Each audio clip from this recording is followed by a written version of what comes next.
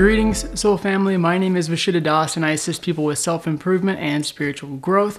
If you're new to this channel, please make sure to subscribe and turn on notifications below if you want to see more content like this. Because today, what we're going to be talking about is Siddhartha Gautama, more commonly known as the Buddha, and essentially we will be speaking on his most important teaching, arguably, that he had during his incarnation here on Earth. But as of this video being live, I do want to let you know that workshop tickets are available for my Awaken Today Masterclass Tour going on this summer through July and August. I will be going to six cities here on the West Coast in the United States, specifically Denver, Phoenix, Las Vegas, San Francisco, Los Angeles, and San Diego. So if you're near any of those cities or you want to come out to these events, they're going to be two to three hour intensive workshop events with a lot of amazing growth techniques and practices thrown in that you can read more about below. So if you want to get tickets, again, click the link in my bio or in my comments and come join so many other beautiful seekers on this amazing journey. But back to the topic at hand, we are speaking on the Buddha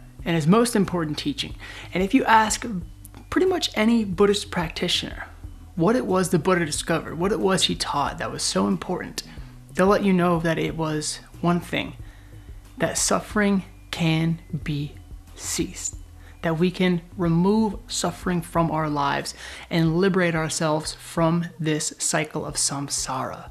And that was the biggest thing in his life was the recognition, the awakening to the realization of what we call in Buddhist philosophy the Four Noble Truths. And if you've never heard of the Four Noble Truths, they are as such. The first truth that the Buddha realized sitting underneath the Bodhi tree during his awakening process was that dukkha exists, as it's called. Now, dukkha can be translated into English sort of as suffering, but it also just kind of means pain or or or discontentment, dis-ease, disharmony, so to speak. That it exists in life and that that is a truth of life.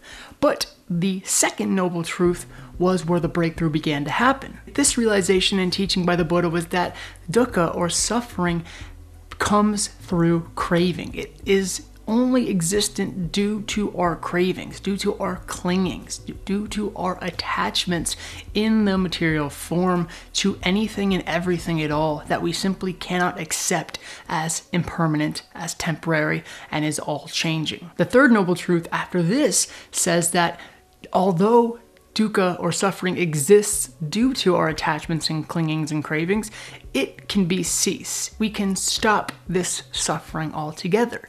And the fourth noble truth goes on to say that we cease this suffering.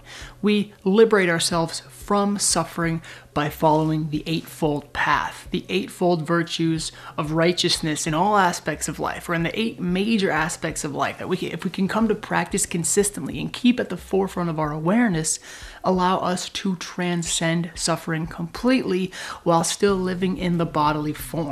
And that is what it means to attain nirvana to realize this truth and free yourself from the confines of the body mind complex. This is the most important truth and the most important message the Buddha ever left us. And what was so vastly beautiful about it was that when he had this realization under the Bodhi tree in ancient India, he actually traveled hundreds of kilometers to Sarnath, a small Buddhist pilgrimage and city outside of Varanasi, one of the most holy cities in India that I actually visited when I was there in January.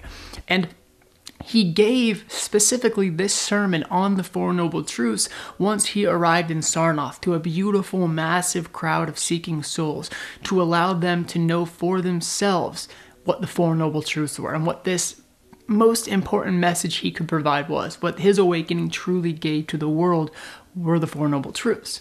Now, if you want to know more about the Eightfold Path and where the Four Noble Truths go, you can go to my channel and watch my playlist on Buddhism for Beginners. I have four to five different videos that go over pretty much every aspect of it. Uh, please go check that out.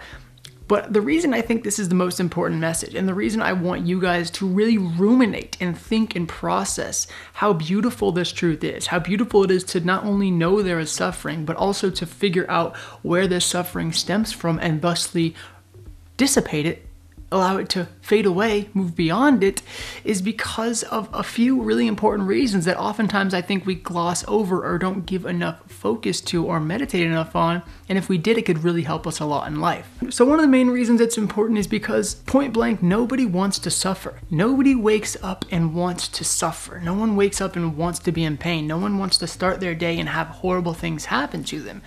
Even at, at, at the most even at the deepest level, people that are hedonistic and sadistic and, and, get pleasure from pain aren't there just to partake in pain. They want goodness or joy or growth or, or a beautiful experience out of pain, out of suffering, out of negativity. But they're not just looking for those negative factors or suffering factors. So it's important to realize that because of this teaching, because of this message, it reminds us that, yeah, I don't want to suffer. Why do I put up with suffering? Why do I accept suffering? I don't have to accept that at all. Why don't I take back my own resounding strength, my own liberation, and free myself from it? Because I have the power to do so. And going along with this, the beauty of these teachings is that when we think that, when we go, yeah, I want to take back my own sovereignty, I want to know and show and live free from suffering and enjoy life and, and love everything I do. Before these teachings came, there were so many different methods, and there still are so many different methods, but for many people, they got caught up in these methods, or they would simply not understand why they suffered. We can easily say, yeah, I don't want to suffer, but how do I transcend my suffering? And how do I transcend my ego's need to transcend my suffering, right? How do I not cling to wanting to get out of something? Because even wanting to get out of it is a desire in its own right. This is a very confusing thing for lots of religious practices unless they are seen from a very neutral and non attached standpoint. Whether it be Hinduism, Judaism, or Islam, they all have a lot of easy ways we can get caught up in it.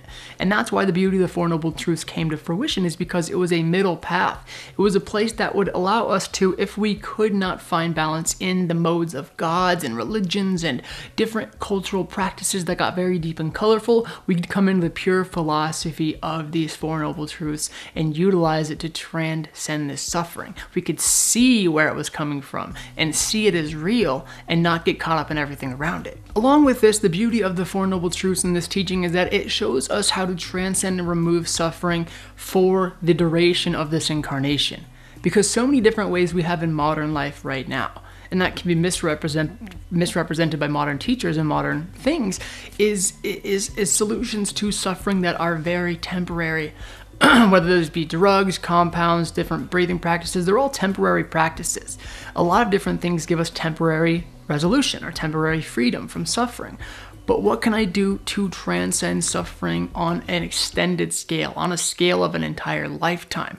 The Four Noble Truths and the following of the Eightfold Path was a way and one of the first true shining lights into a method that worked on a long term basis. Now, there are lots of other paths that work as well. For me, specifically, the path of Vedanta and Advaita and understanding and meditating on the non dual nature of my own awareness uh, works beautifully. But for the Buddha and many people who heard his lectures and sermons for the first time, this was an absolutely transcendental realization that, wow, I don't have to just settle for small solutions to my suffering, but that I can work on this solution that lasts a lifetime, that is an extended solution that serves me and serves my Dharma as well. And finally, like I said about getting caught in the things around uh, different religions and ideas and practices for moving beyond suffering, the Four Noble Truths are just so simple, right? It's four truths. That's it.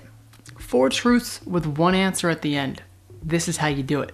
And you use these eight methods. That's it. That's really the core of Buddhist philosophy. Now, since that time, there have been more bodhisattvas, more Buddhas, more awakened souls that have added tons and tons of different methods and practices and realizations and, and philosophy to what it means to be a Buddhist and what it means to live and thrive and, and enjoy and suffer.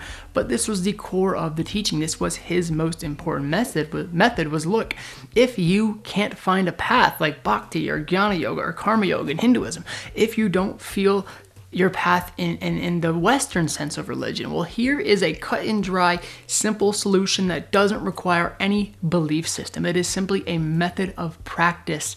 Take it and use it as you will. That clarity, that simplicity is why Buddhism serves so many people and why it's so helpful, especially for beginners on their path. And it's why I think that the Four Noble Truths are one of the most important realizations and, and things you can know when entering into the realm of spiritual practice or self growth and an inner evolution. And that is specifically also why I think it is the Buddha's most important teaching that he left the world and that we can ruminate on and utilize to grow in life and move forward. So hopefully you guys enjoyed that little video just on what the Buddha's most important message was and why. So that is that. Thank you guys for listening and joining in. And as always, I'll see you guys next time. Ram Ram.